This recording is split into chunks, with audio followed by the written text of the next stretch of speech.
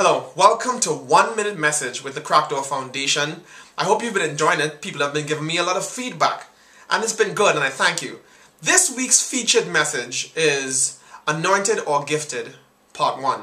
And you can click below and you'll get the full message. And today we're just going to talk about God's gifts. Romans 11 29 says, For God's gifts and His call can never be withdrawn. And when the Bible uses the word for gifts, it comes from the word charisma. And charisma is a Greek word that means favor which one receives without any merit of his own.